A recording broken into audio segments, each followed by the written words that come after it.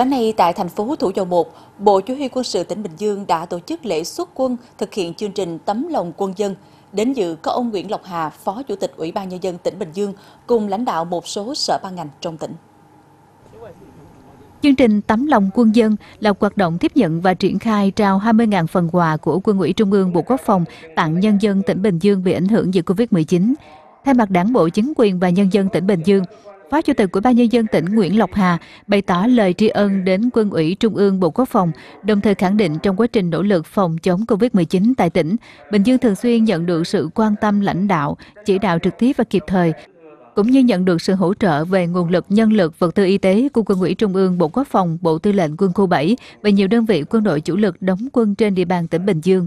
Nhờ vậy, đã góp phần cho công tác phòng chống dịch trên địa bàn tỉnh từng bước được đẩy lùi và hiện đang nằm trong tầm khống chế kiểm soát, góp phần sớm đưa Bình Dương trở lại trạng thái bình thường mới. Cũng tại buổi lễ, lãnh đạo tỉnh Bình Dương và lãnh đạo Bộ Chỉ huy quân sự tỉnh lần lượt trao quà của chương trình Tấm lòng quân dân cho các đơn vị thuộc lực lượng vũ trang ở chính huyện thị thành phố trong tỉnh, cùng một số đơn vị như Liên đoàn Lao động tỉnh, Hội Chữ thập đỏ tỉnh Bình Dương để chuyển đến trao tặng cho nhân dân, công nhân viên chức, người lao động trong tỉnh Bình Dương. Sáng nay tại điểm hoạt động nhân đạo của Hội Chữ thập đỏ tỉnh trên đường 30 tháng 4, phường Phú Hòa, thành phố Thủ Dầu Một, Hội Chữ thập đỏ tỉnh Bình Dương đã trao bánh trung thu cho Hội Chữ thập đỏ chính huyện thị thành phố để kịp thời đưa quà trung thu đến trẻ em trong mùa dịch. Tham dự có ông Nguyễn Lộc Hà, Phó Chủ tịch Ủy ban Nhân dân tỉnh. Số lượng bánh trung thu được phân bổ về Hội Chữ thập đỏ các quyện thị thành phố sáng nay là 20.000 phần để trao tặng trẻ em là con em của lực lượng tuyến đầu chống dịch, trẻ em tại các khu cách ly điều trị, khu vực phong tỏa. Trong mùa trung thu năm nay, công ty Kinh Đô đã tài trợ cho Hội Chữ thập đỏ tỉnh 30.000 phần bánh trung thu với tổng trị giá 2 tỷ đồng. Với sự ủng hộ này, những ngày qua, Hội Chữ thập đỏ tỉnh đã trực tiếp đến thăm và trao tặng cho các em thiếu nhi ở các khu cách ly phong tỏa 10.000 phần bánh trung thu và phân bổ đến các địa phương để kịp thời chăm lo Tết Trung thu cho trẻ em trong tỉnh. Mỗi phần quà là sự chia sẻ tình cảm mà Hội Chữ thập đỏ tỉnh và các nhà hảo tâm gửi trao đến các em nhân dịp Tết Trung thu để các em đón Tết Trung thu nhiều niềm vui, ấm áp. Ở trên 30.000 phần bánh trung thu thì tôi nghĩ rằng đây là cái tình cảm rất là ấm áp của công ty Kinh Đô đã dành cho những người có hoàn cảnh khó khăn cũng như là những trẻ em à, trên toàn tỉnh Bình Dương trong cái mùa dịch bệnh. Và đặc biệt là các em thiếu nhi trong các khu cách ly, các khu phong tỏa và trong trong các à, bệnh viện. Thì à, qua đây là tôi xin thay mặt Hội chữ đỏ tỉnh Bình Dương cũng như là à, lãnh đạo tỉnh à, xin chân thành cảm ơn à, và ghi nhận cái sự quan tâm à, đến à, những à, trẻ em có hoàn cảnh khó khăn trong cái mùa dịch này trong các khu cách ly của công ty.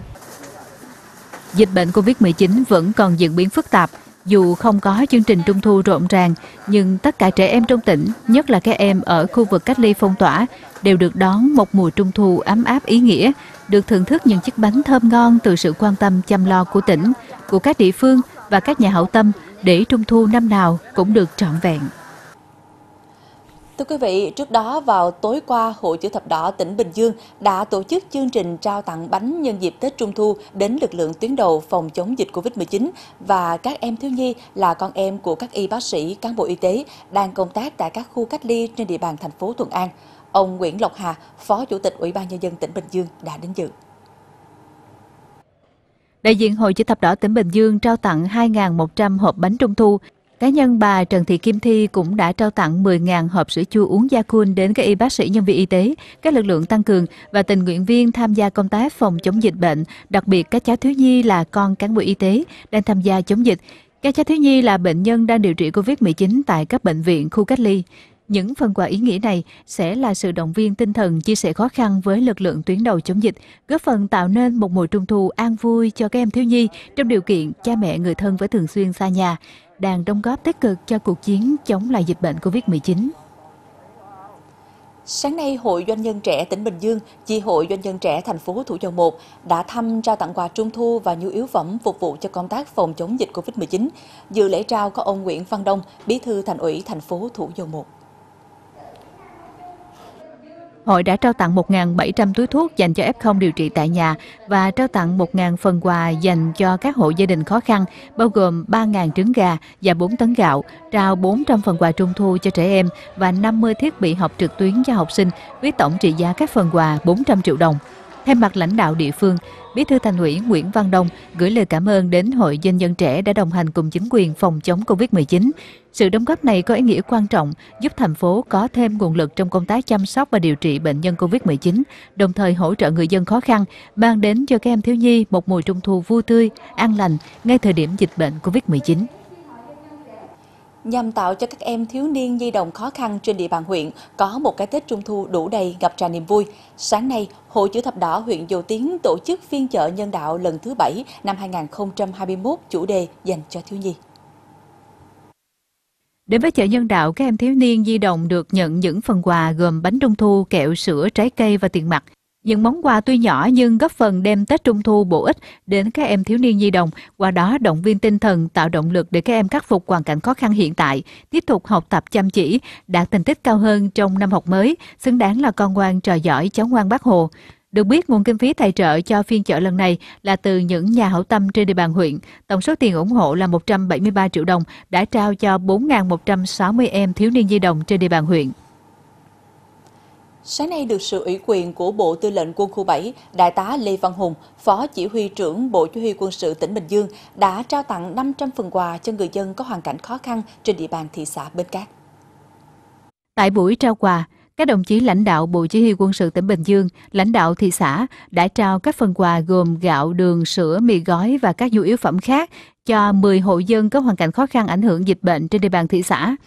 Sau buổi trao quà tại Ban Chỉ huy quân sự thị xã, đoàn tiếp tục đến trao quà cho công nhân ở trọ có hoàn cảnh khó khăn tại khu phố 5 phường Mỹ Phước.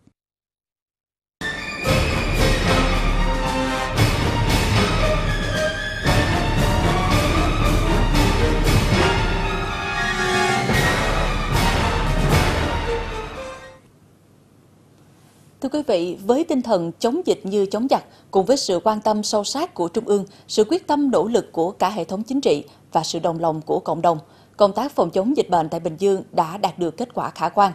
Tuy nhiên, trong bối cảnh dịch bệnh COVID-19 vẫn còn diễn biến khó lường, Bình Dương luôn xác định chống dịch là nhiệm vụ thường xuyên, lâu dài, không lơ là chủ quan và hình thành nếp sống ứng xử phù hợp trong điều kiện có dịch bệnh. Đến nay, toàn tỉnh Bình Dương đã có 6 trên 9 huyện thị thành phố thuộc vùng xanh, chiếm 66,6% địa bàn, gồm Bắc Tân Uyên, Phú Giáo, Bầu Bàng, Dầu Tiến, thành phố Thủ Dầu Một và thị xã Bến Cát. Ban chỉ đạo phòng chống dịch COVID-19 tỉnh yêu cầu các địa phương vùng đỏ tiếp tục thực hiện nghiêm chỉ thị 16 của Thủ tướng Chính phủ,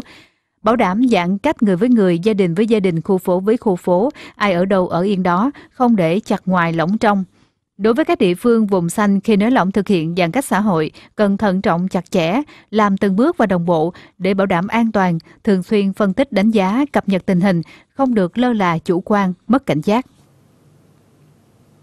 Hiện nay dù đã đạt được thành quả trong chống dịch, nhưng Thuận An vẫn tiếp tục thực hiện giãn cách xã hội, tăng cường kiểm tra, kiểm soát để ngăn chặn dịch bệnh và thực hiện các kịch bản phục hồi kinh tế xã hội.